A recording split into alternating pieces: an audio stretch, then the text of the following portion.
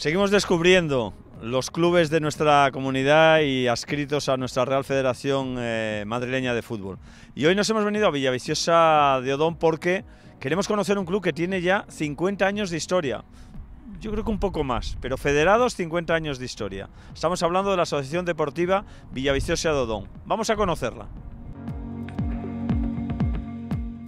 Pedro, muy buenas tardes. Muy buenas tardes. Bueno, cuéntanos un poco la historia de este club que tiene ya más de 50 años de historia. Sí, eh, este club se federó en el 71. No sabemos exactamente en qué año se fundó. Hemos estado mirando en libros y demás y no hemos conseguido saber exactamente en, qué año empezó, pero lo que sí está eh, escrito es que en el año 71 eh, se federó por primera vez. Cuando teníamos el campo en el Gutiérrez Mellado, que era campo de tierra todavía, ¿vale? venía, venía Rodri y Rodri antes de, hacer su carrera en primera división eh, pues jugó con nosotros varias temporadas y luego bueno, pues dio el paso, jugó, eh, llegó a jugar en el Madrid, en el Sporting y siempre, siempre ha tenido muy buena relación con nosotros. Esto estuvo con nosotros cuando era, cuando era pequeño y demás, y luego pues, ha hecho toda su carrera profesional.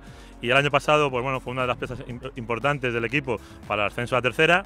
Jugadores de estas características salgan de la cantera nuestra y luego vuelvan aquí otra vez, para nosotros es, es un orgullo, lógicamente. Aquí hace 10 años teníamos 100, 200 chavales nomás, ahora estamos casi en 600 y bueno, es crecer un poco en todo, es crecer en categorías, es crecer en calidad, es crecer en metodología, que vamos creciendo poco a poco. Yo creo que cada año vamos consiguiendo hacer mejores cosas y al final se nota, al final que la escuela esta en principio era modesta y tenía pocos chavales, ha ido creciendo con el tiempo y cada año seguimos creciendo. El primer equipo el año pasado, bueno, pues logramos subirlo a tercera, este año la temporada no ha salido como nosotros esperábamos, ¿vale? El equipo trabaja para, y el año que viene, aunque estemos en preferente, volveremos a trabajar para volver a que pone el equipo lo antes posible en tercera y las categorías inferiores y subiéndolas todo lo que podamos. En estos 50 años seguro que ha habido mucha gente ¿no? que ha ido aportando su granito de arena quiere tener un especial recuerdo para alguien que se nos ha ido y que fue muy importante en el desarrollo y en el crecimiento del club. Hablamos de, de, Félix Díaz. Yo entré aquí en este, en este club en el 84, creo que fue. Fue mi entrenador. Yo creo que ha sido entrenador de prácticamente todas las personas que hemos pasado por, por el Vía Viciosa. Y bueno, pues ahí siempre tenemos el recuerdo de él en, en, la entrada, el nombre del campo que está puesto en su nombre y desde luego un referente en Vía Viciosa y para, y para el club siempre. Muchas gracias, Pres. Muchas gracias a vosotros. Don Antonio, dígame usted lo que hace aquí en este club.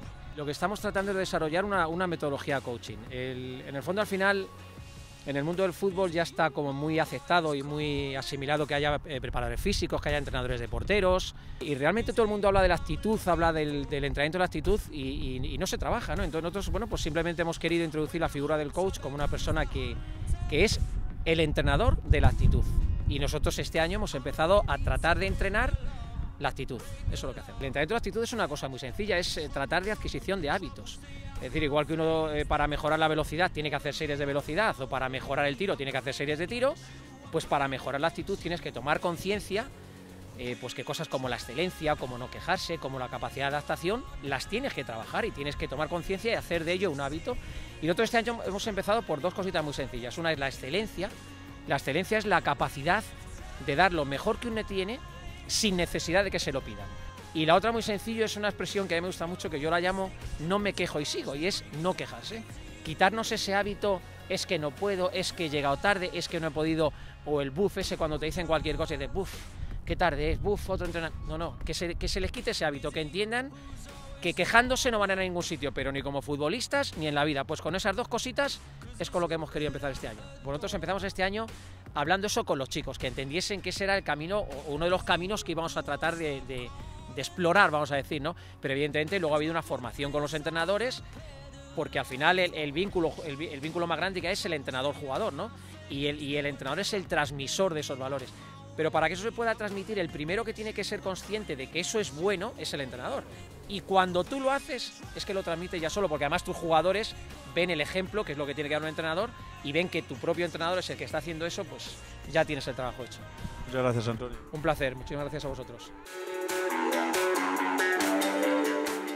¿Cómo estáis? Buenas. Muy bien, Los Buenas, coordinadores sí, de fútbol 7, ¿no? Exacto. efectivamente. De todos modos, ¿de cuántos niños estamos hablando aquí en la, en la Asociación Deportiva Villaviciosa? Unos 600, ¿no? Sí, ha habido otros años que a lo mejor ha habido un poquito más, y, pero bueno, sí, rondamos esa, esa cifra. Pues tenemos 13 en fútbol 7 y 17 equipos de fútbol 11 federados. El tema de la pandemia hizo que bajara un poco esto y, y, bueno, vuelve, volvemos a seguir creciendo y, y a empezar a tener muchos más equipos. ¿Se está notando mucho la llegada de, de- de las niñas, de las mujeres al, al fútbol femenino? La verdad es que sí, porque nosotros estamos albergando ahora mismo tres equipos femeninos y sobre todo en cantera eh, femeninas salen pues a lo mejor unas cuantas benjamines, alevines. En principio llevamos una metodología que es totalmente pareja para toda la, toda la escuela.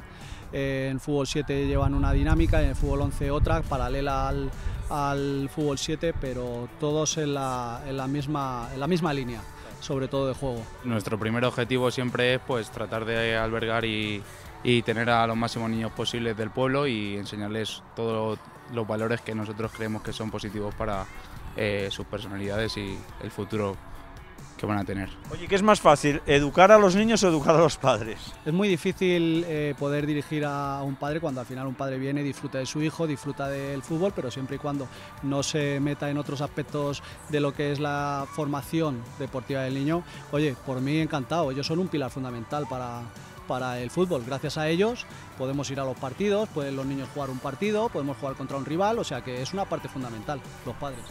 Muchas gracias a los dos. Gracias a vosotros.